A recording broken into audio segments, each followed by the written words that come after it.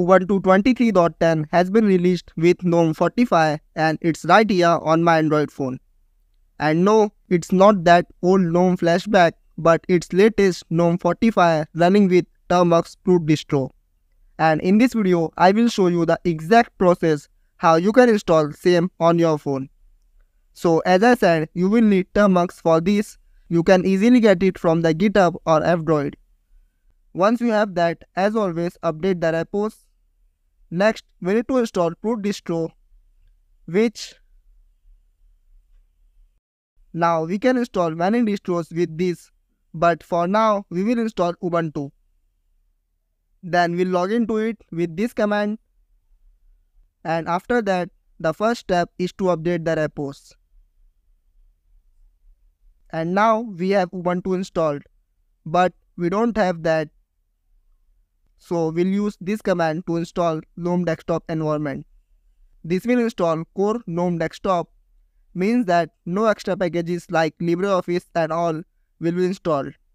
If you want full GNOME, you can replace GNOME shell to Ubuntu desktop. But for now, we'll install core GNOME with VNC server and basic utilities. Next, we need to set up VNC. So we'll create a VNC directory and open X startup file and paste this in it. Now we'll save it with Ctrl X, Y and enter. We also need to give executable permission to it. Then just start the VNC server. But this should not work. And that's because so with the help of this guy on our Discord server and thanks to u.team as they found this solution to get GNOME working. And after we execute this, we can start the VNC server. And you can use dash localhost no switch if you want to access it from other devices. And using VNC viewer app, we can connect to it.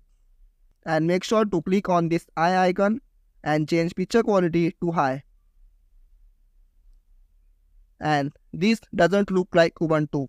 And that's because we installed GNOME Core. So we need to manually fix some things. So first we will change the wallpaper. So we'll go to settings and change the wallpaper.